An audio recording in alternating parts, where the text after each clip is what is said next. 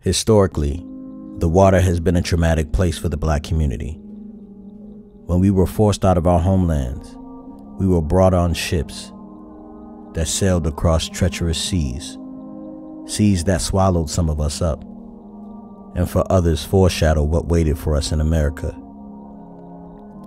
Swimming pools were segregated until July 19, 1950, and even thereafter, we were not welcomed in the water.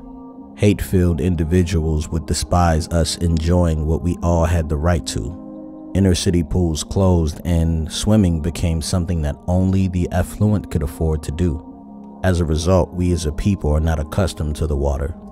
Here are some stats from the U.S. Swimming Foundation, but one I'd like to point out is that today black children die at a rate that is at least three to five times higher than their white peers.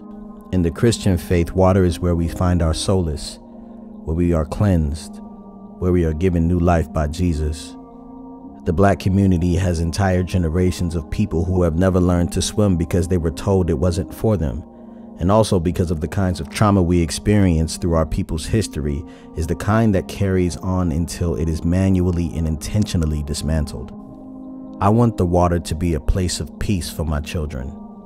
I want them to go to the beach and feel amazing in their beautiful black skin and not be afraid to dive into the ocean.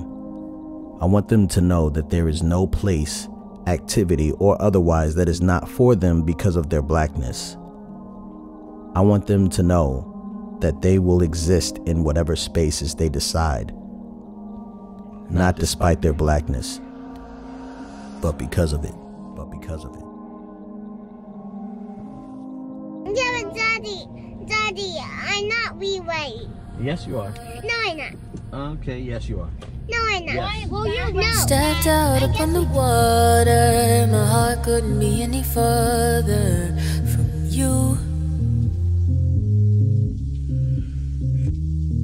You slept, I thought I was a goner. With your voice, you make everything calmer. Who knew?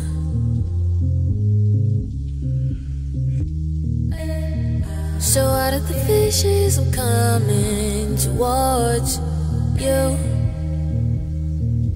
You. Maybe in the furnace, I know that it's worth it. I want you.